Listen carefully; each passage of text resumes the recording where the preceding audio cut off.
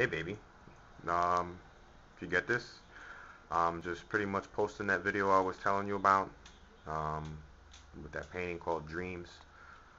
And yeah, this was definitely something that was on the frantic side. There's a lot of stuff happening here. Um, it was a long night, man. Uh, if you look, I'll try to zoom in a little bit. But there's the white ghostly image down at the bottom left corner with the centerpiece image that I was telling you about that was similar to the the face for from V for Vendetta. Then you have the white image right there which is more of the demonic like fear that I had throughout one of my dreams. It was pretty intense, man.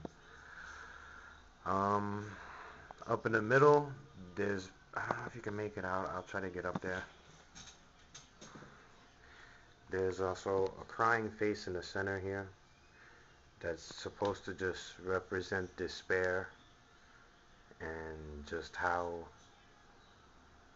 frantic I felt. And then you have the eye that just observes. You know, it, it just watches, it observes everything. And what's unique too is that, like I said, this does have some texture to it. I don't know if you could see it, but this is actually just newspaper that was dried onto it. Pretty neat. But this is a lot of different, a lot of different mediums on this. There was spray paint. I used oil. I used acrylic. This is all on plywood. And down at the bottom, I have these mountainous like shapes that are supposed to represent like just this endless valley of despair. You know, it was just definitely um,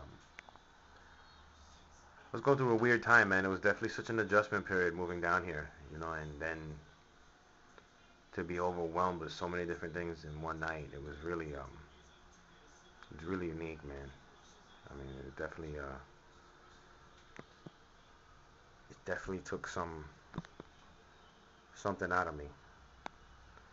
But yeah, up top actually I'll take a shot take a shot at that. It's pretty neat. That's actually a train car. It's they used to sell these train cars at the graffiti shops in New York and it's just half of a train car. And I had a bunch of them, but I lost one of my boxes moving down here from fucking New York. But yeah, that's um a neat little piece. That's my rims. And we'll pan down into the train. Going into my Tense 325 with my little Smurf character. That's my little homeboy. That's Graffiti Smurf.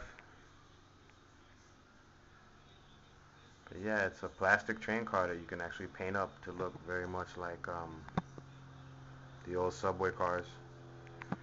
And then above is just a pretty generic um, little piece on canvas. It says rims, and it's done on the night sky with the bridge. The city scene is kind of like my trademark also. I love painting the city drops. But yeah, this son of a bitch right here was my um my ticket. This is what got me looked at. So yeah, we'll um we'll see what the fuck happens.